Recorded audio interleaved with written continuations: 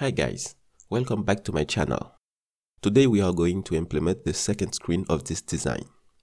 In the first part of this video series, I created this screen, the home page.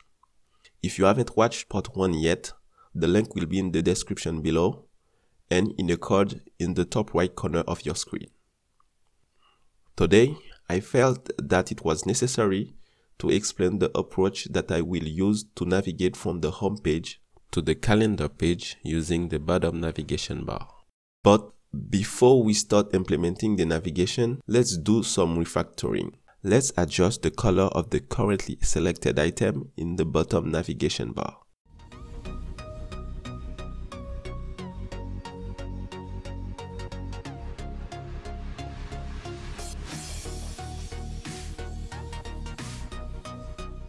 Then here, let's replace this column by list view to avoid overflows on smaller screen. And finally, we will move the homepage class from the main.dart to its own file.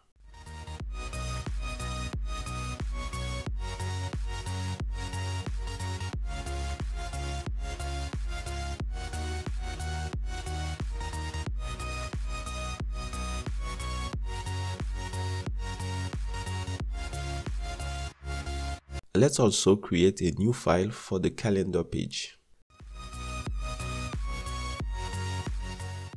That's all for the refactoring. Now we need to go back to the main page to implement the navigation between the different pages. Let's start by creating a list of all the pages that the app will have.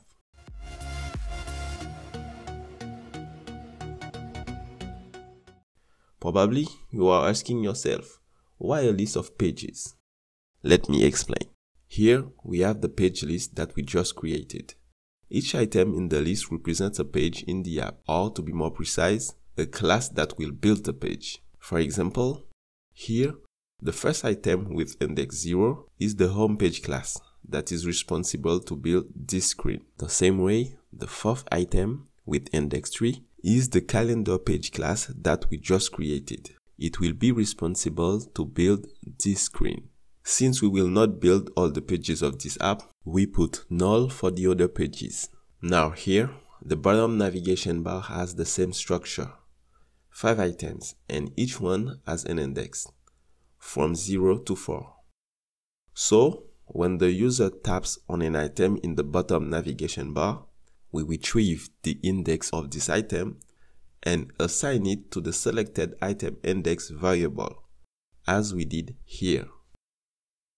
Then, the body property of the scaffold, instead of receiving one specific class, as we did here, will receive pages selected item index. That means, when the user taps on the fourth item, the selected item index will receive the value 3. Then, on set state, the body property of the scaffold will receive the value of the page list at index 3, which is the calendar class. The same way, when the user taps on the first item, the selected item index will receive the value 0.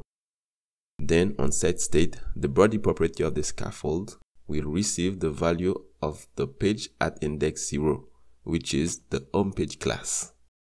I think you understand the approach now. Let's go back to the code.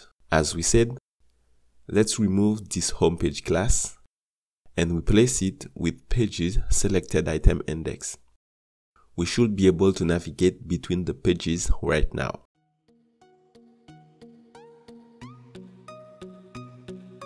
Now, let's continue with the implementation of the calendar page.